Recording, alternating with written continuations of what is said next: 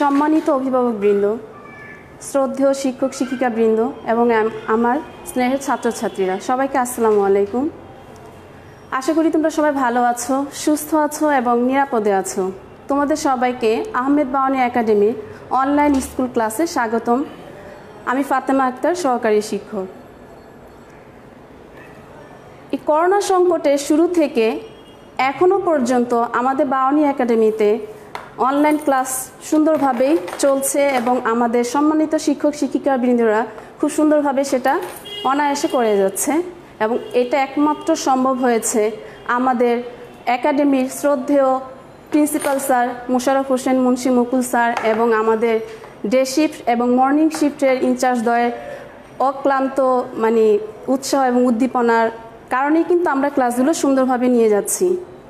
এবং একটি জিনিস খেয়াল করলে দেখতে পাবে যে করোনার শুরু থেকে এখনও পর্যন্ত আমাদের টিচারদের টিচাররা যেভাবে ক্লাসগুলো নিয়ে যাচ্ছে, তাদের ভিতরে কিন্তু সে ধরনের কোনো ভয় ভীতি, কোনো কিছুই কাজ করছে না যে বের হব ক্লাস নিতে যাব স্কুলে, আসলে আবার করোনা হয়ে যায় কিনা। স্বতঃস্ফূর্তভাবে আমাদের সকল শিক্ষকেরা মানে ক্লাসগুলো নিয়ে যাচ্ছে, সেজন্য আমি আমাদের সেই সম্মানিত শিক্ষক শিক্ষিকাদের প্রতি শ্রদ্ধা জানাই এবং আমি চাইব তোমরা সবাই আমার জন্য এবং আমার শ্রদ্ধেয় শিক্ষক, শিক্ষিকা বৃন্দদের জন্য এবং প্রিন্সিপাল স্যার এবং তার পরিবারের জন্য দোয়া করবে যেন আমরা সবাই সুস্থ থেকে মানে সুস্থ স্বাভাবিকভাবে তোমাদের ক্লাসগুলো নিয়ে যেতে পারি এবং পাঠদান দিতে সক্ষম হতে পারি।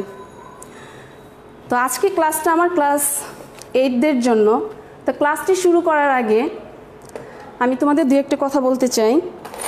ইতিমধ্যে তোমরা আসলে দুটি পরীক্ষা সম্পন্ন করেছ।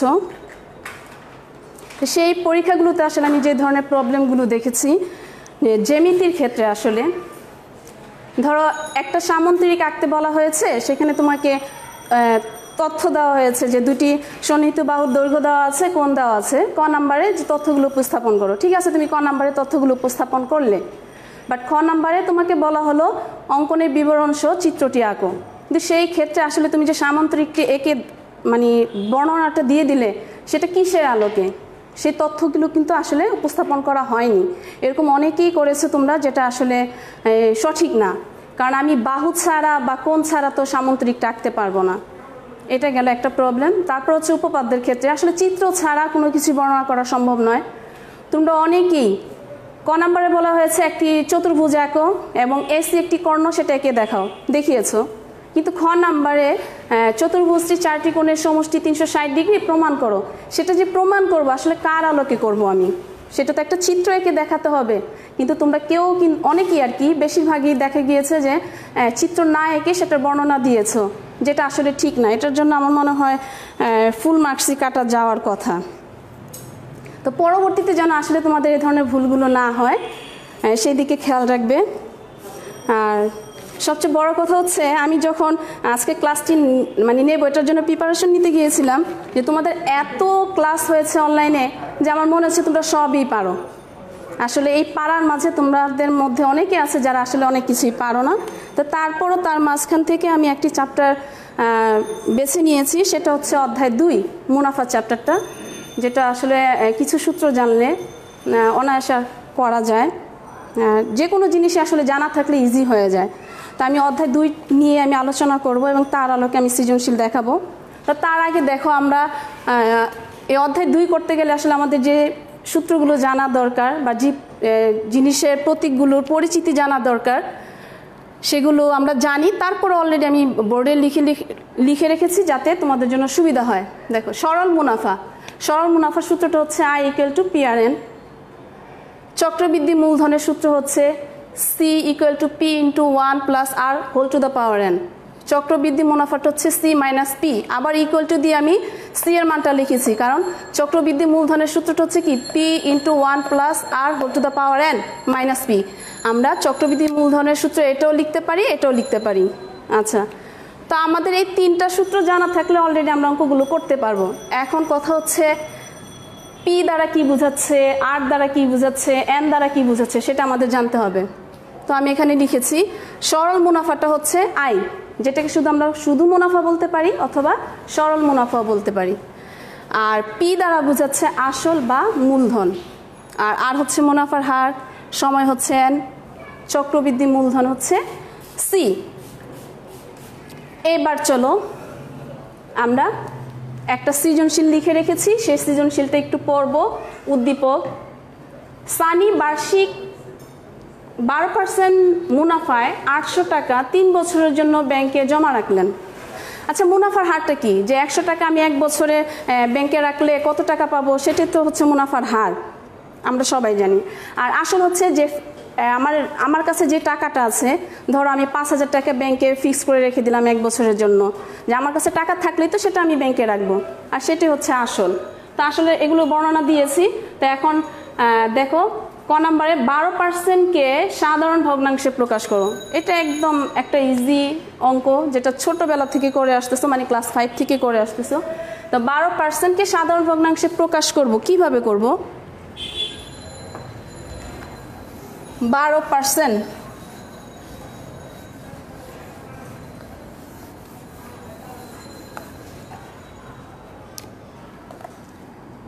ক?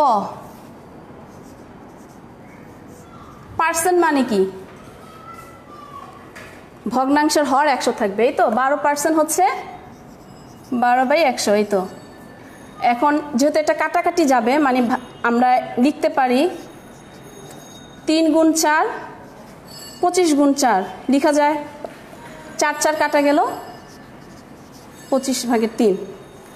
সাধারণ ভগ্নাংশে প্রকাশ হয়ে গেল। আচ্ছা তারপরে খ নাম্বারে বলা হয়েছে, সরল মুনাফা ও মুনাফা আসল নির্ণয় করো। আমার উদ্দীপকে কিন্তু মুনাফার হার দেওয়া আছে মানে আর এর মানটা দেওয়া আছে। কারণ এর আগে তো আমি বর্ণনাগুলো লিখে দিয়েছি। আট হাজার টাকা তিন বছরের জন্য ব্যাংকে জমা রাখলেন মানে আমার কাছে আট হাজার টাকা আছে, সেটি আমি ব্যাংকে রেখে দিলাম। তার মানে সেটা হচ্ছে আসল পি আর সময়টা হচ্ছে কত? তিন বছরের জন্য, এটা হচ্ছে এন এর মান। তো আমি এখান থেকে উদ্দীপকের আলোকেই লিখব, দেওয়া আছে মুনাফার হার, আর ইকুয়াল টু কি? বারো পার্সেন্ট আসল পি ইকুয়াল টু আট হাজার, এবং সময় এন ইকুয়াল টু তিন বছর। তারপর আমি কি বের করব?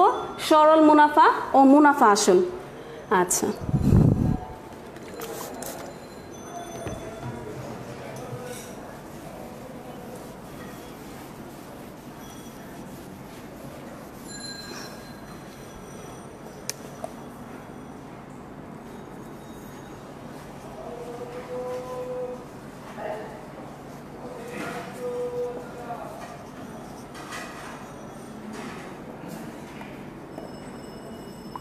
মুনাফার হারটাকে প্রকাশ করা হয় কি দ্বারা? আট দ্বারা। বারো পার্সেন্টকে লিখে যায়, এই। তারপরে কি আছে? আসল বা মূলধনও লিখতে পারো, একই কথা। আসলকে প্রকাশ করা হয় পি দ্বারা। এটা হচ্ছে আট হাজার টাকা। কত, সময়টা কত? মানে কয় বছরের জন্য আমি রাখব? তিন বছরের জন্য। সময়কে প্রকাশ করা হয় এন দ্বারা। এন হচ্ছে তিন বছর। প্রথমে আমি বের করব সরল মুনাফা। আমরা জানি সরল মুনাফার সূত্রটা কি? আমরা জানি সরল মুনাফা I equal to P R N আচ্ছা। পি এর মান দেওয়া আছে আর এর মান দেওয়া আছে এন এর মান দেওয়া আছে। আমরা বসাবো, হয়ে যাবে। আট হাজার গুণ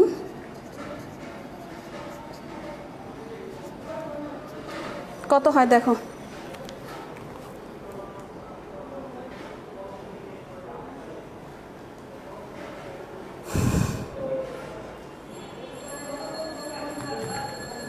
কত বের হচ্ছে কাটাকাটি করব না, এর আগের ক্লাসও বলেছিলাম তোমাদের। কত বের হয়েছে মুনাফা? দুই হাজার আটশো আশি টাকা। শুধু মুনাফা বা সরল মুনাফা একই কথা, এটা আগেও বলেছি। আচ্ছা আমাদের সরল মুনাফা বের করতে বলেছে, আমি সরল মুনাফা বের করেছি। তারপরে কি বের করতে বলা হয়েছে? মুনাফা আসল।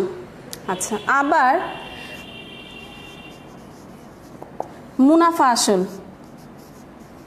মুনাফা আসল এই মুনাফা আসলকে প্রকাশ করা হয় এ দ্বারা একটু সাইড থেকে লিখি।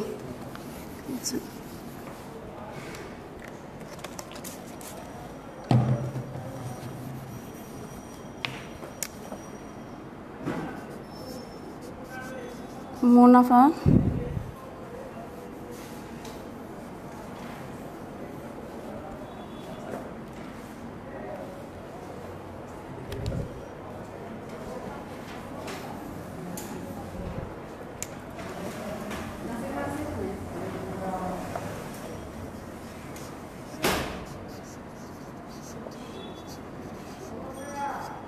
মুনাফা আসলের প্রতীকটা হচ্ছে এ। আর মুনাফা আসল কি বলতো? মুনাফা যোগ আসল। আচ্ছা মুনাফাকে কি দ্বারা প্রকাশ করা হয়? I plus P. এইভাবে বাট তোমাদের বোঝানোর জন্য আমি এটা লিখে দিলাম। তাহলে আয়ের মান বের হয়েছে কি? দুই হাজার আটশো আশি টাকা প্লাস পি এর মান। মানে আসলটা কত ছিল আমাদের? আট হাজার টাকা। যোগ করে দেই। তার মানে আমাদের মুনাফা আসল বের হয়ে গেল দশ হাজার আটশো আশি টাকা। আচ্ছা। এবার দেখো, গতে বলা হয়েছে চক্রবৃদ্ধি মুনাফা নির্ণয় করো। চক্রবৃদ্ধি মুনাফাটা নির্ণয় করতে গেলে আমাদের প্রথমে আগে চক্রবৃদ্ধি মূলধন বের করতে হবে। কারণ চক্রবৃদ্ধি মূলধন যদি বের না করি, তাহলে চক্রবৃদ্ধি মুনাফাটা বের করা যাবে না।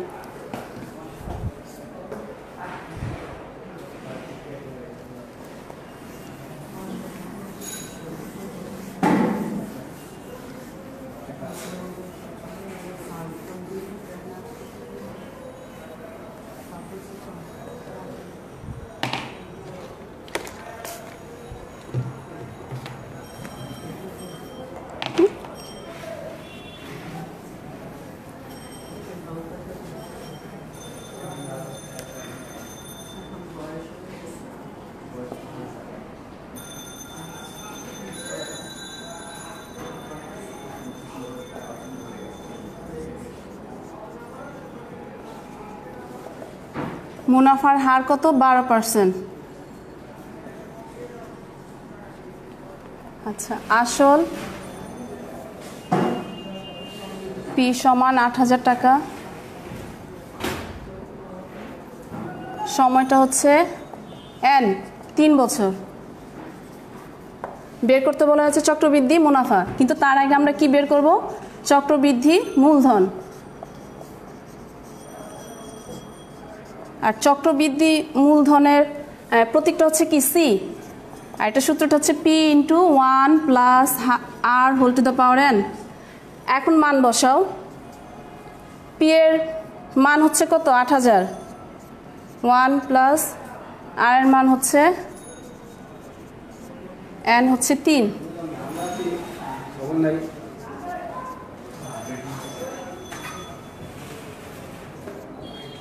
আচ্ছা। অনেকে কিন্তু একশো ভাগ বারো দাও, কিন্তু হবে কি বারো ভাগ একশো? আসবে কত?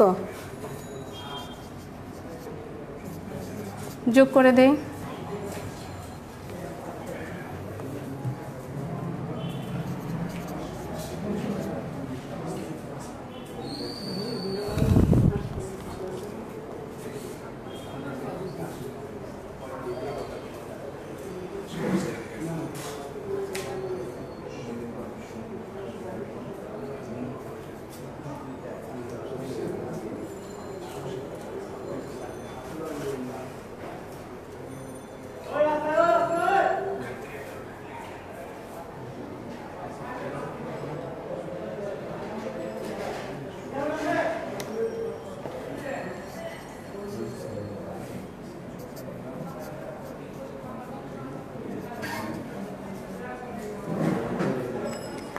দেখো, এক দশমিক এক দুই হোল টু দ্য পাওয়ার হচ্ছে থ্রি মানে তিন। এটার পাওয়ারটা বের করে তারপরে আমরা আট হাজার দিয়ে গুণ করে দিলাম। তাহলে চক্রবৃদ্ধি মূলধন বের হলো কত? এত। কিন্তু আমাকে বের করতে হবে চক্রবৃদ্ধি মুনাফা।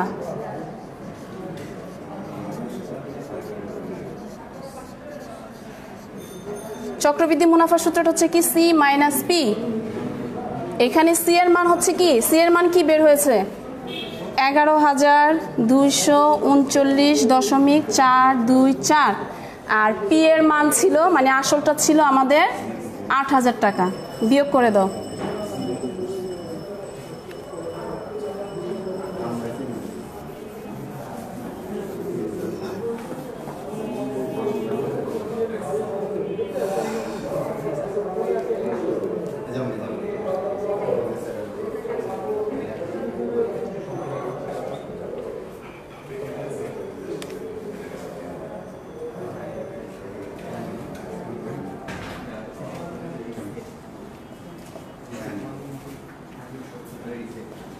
চক্রবৃদ্ধি মুনাফা বের হয়েছে এত টাকা?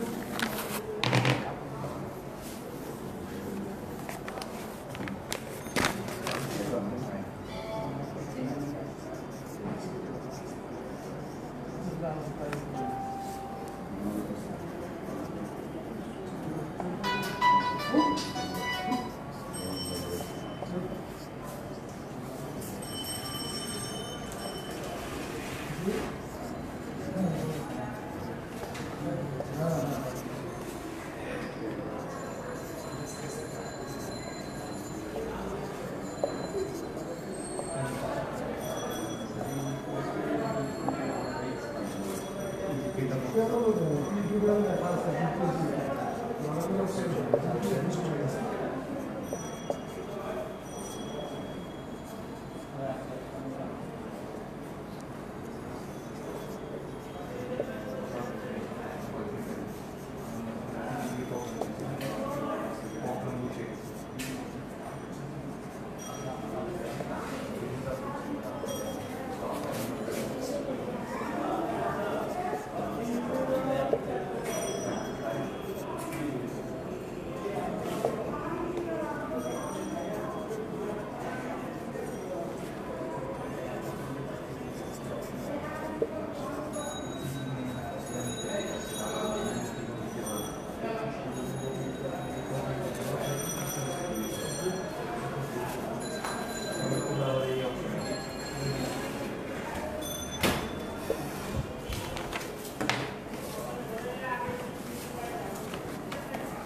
আচ্ছা আমি আরেকটি সৃজনশীল লিখেছি, একটু দেখো তোমরা।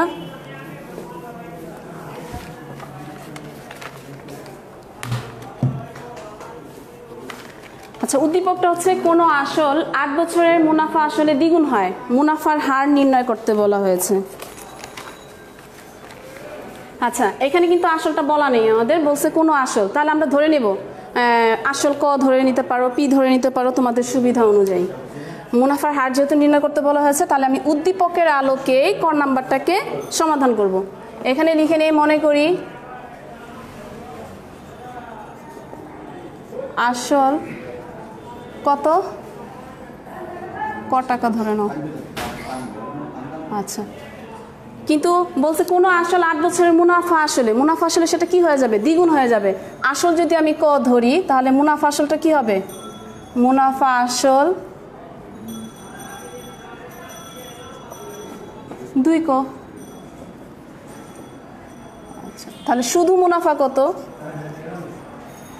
শুধু মুনাফাটাকে প্রকাশ করা হয় আয় দ্বারা।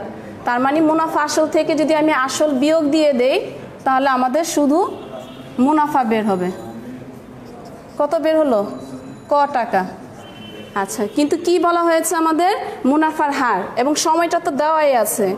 সময় দেওয়া আছে কি বলো তো আট বছর। মানে এন সমান আট বছর। তাহলে আমরা জানি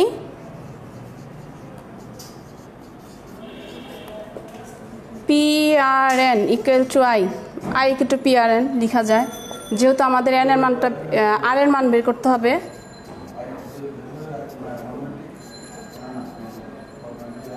আচ্ছা আয়ের মান কি? কি বের হয়েছিল? ক?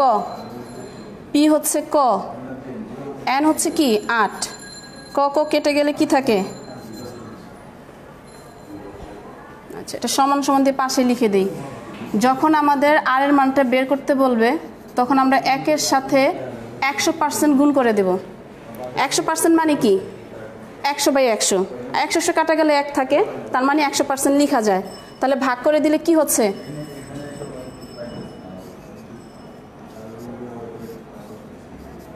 এত পার্সেন্ট তোমরা একটু ভাগ করে দেখো। আট দিয়ে। আট একে আট? আট দুগুণে ষোলো, চার মানে হচ্ছে কি বারো সমস্ত উপরে চার, নিচে আট। একটু কাটাকাটি করলে কি হয়ে যায়? বারো সমস্ত? এত। তার মানে এত পার্সেন্ট হচ্ছে, তাই না? খ নম্বরে বলা হচ্ছে, কত বছরে উক্ত আসল? আমরা কতে যে আসলটা ধরেছিলাম পি সমান ক টাকা সেইটা ধরেই আমরা কাজ করব। খতে বলা হচ্ছে যে সেই উক্ত কত বছরে উক্ত আসল মুনাফা আসলে কত হবে? তিন গুণ হবে।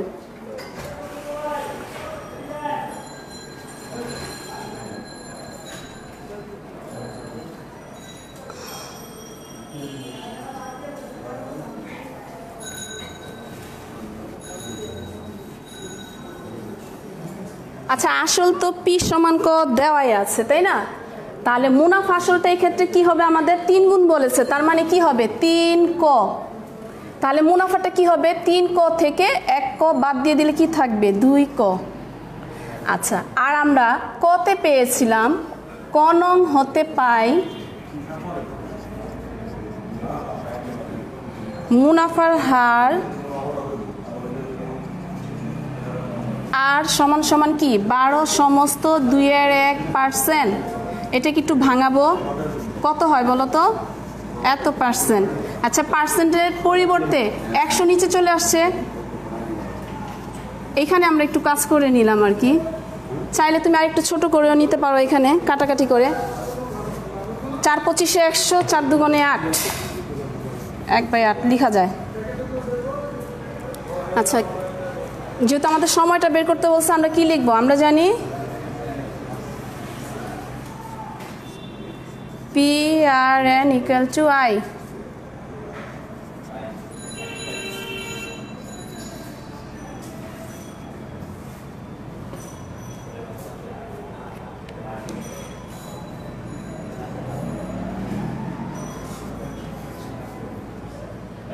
I হচ্ছে কি? দুই ক। পি হচ্ছে শুধু ক, আর আর এর মান হচ্ছে এক বাই ক।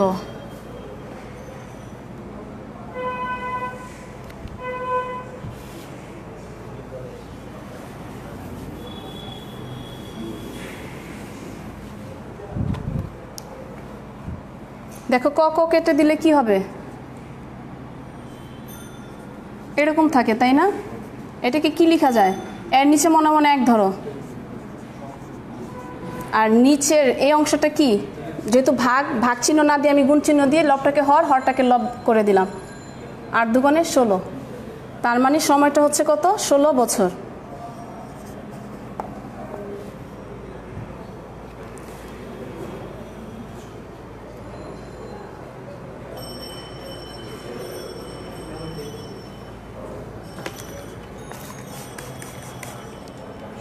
আচ্ছা গতে বলা হয়েছে, একই হার মুনাফায়।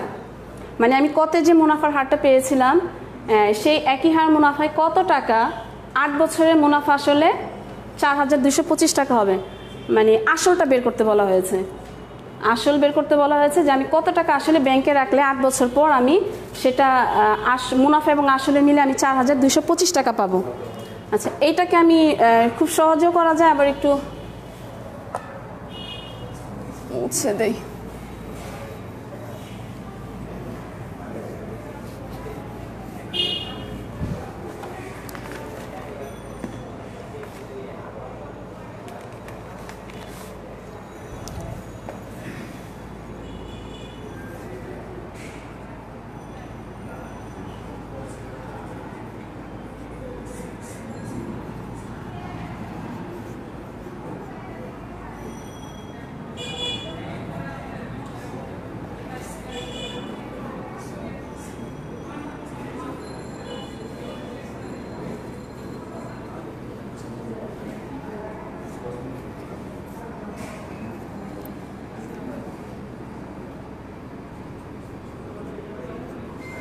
লেখা যায়, তাই না?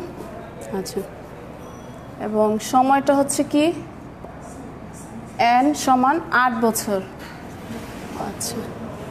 আর দেওয়া আছে কি? মুনাফা আসল। মুনাফা আসল হচ্ছে কত টাকা? এ সমান চার হাজার দুইশো পঁচিশ টাকা। আচ্ছা। আর আসল ছিল কত? আসলটা ধরেছিলাম আমরা? পি টাকা। তাহলে শুধু মুনাফা কি হবে?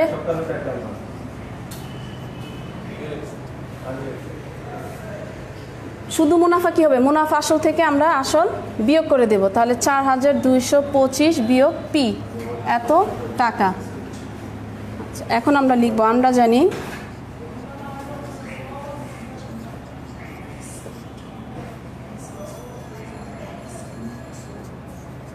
বের করতে বলা হয়েছে আসল, তার মানে আমাকে পি এর মানটা বের করতে হবে।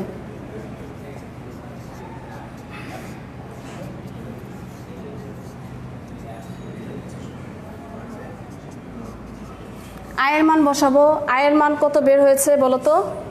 আয়ের মান হচ্ছে চার হাজার দুইশো। চার হাজার দুইশো পঁচিশ বিয়োগ ক, এটাকে ফার্স্ট ব্র্যাকেট দিয়ে আটকায় দেবো। আচ্ছা না দিলেও পারো যেহেতু আয় উপরে সিঙ্গেল আচ্ছা আর এর মান হচ্ছে কি?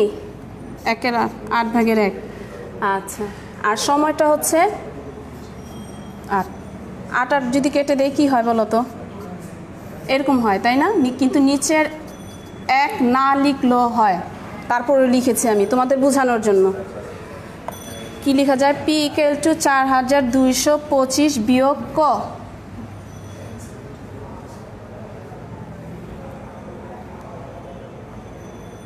যেহেতু আমি একটা পি দিয়ে করছি, তাহলে তো এখানে পি ইউজ করিস সরি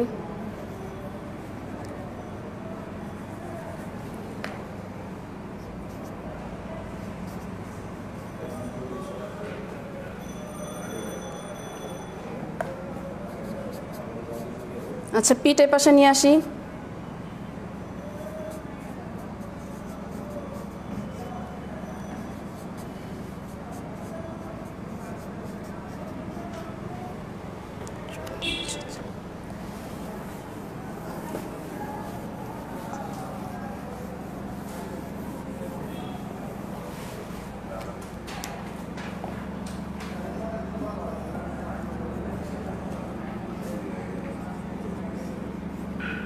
আচ্ছা পি সমান কি?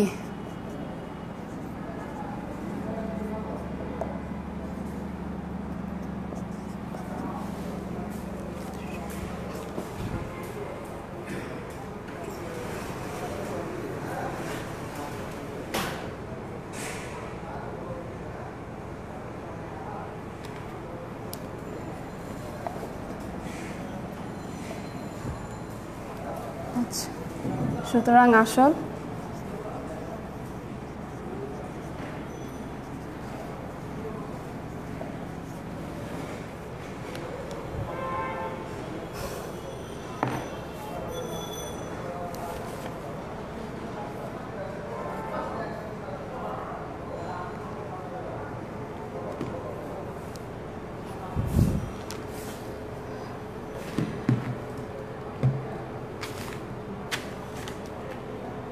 আজ এই পর্যন্তই।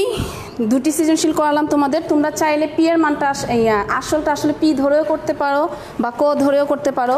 তো আমি গ নাম্বার করার ক্ষেত্রে আসলে পিটা ধরেছি আমাদের সুবিধার জন্য। যেহেতু আমাকে আসল বের করতে বলা হয়েছে এটা চাইলে তুমি যে কোনো একটা চলক বসিয়ে করতে পারো, সমস্যা নেই। তো শিক্ষার্থীরা, আজ এ পর্যন্ত। পরবর্তী ক্লাসে আমি অন্য একটা চ্যাপ্টার নিয়ে আলোচনা করব। সে পর্যন্ত ভালো থেকো, সুস্থ থেকো। আল্লাহ হাফেজ। Cái gì đâu?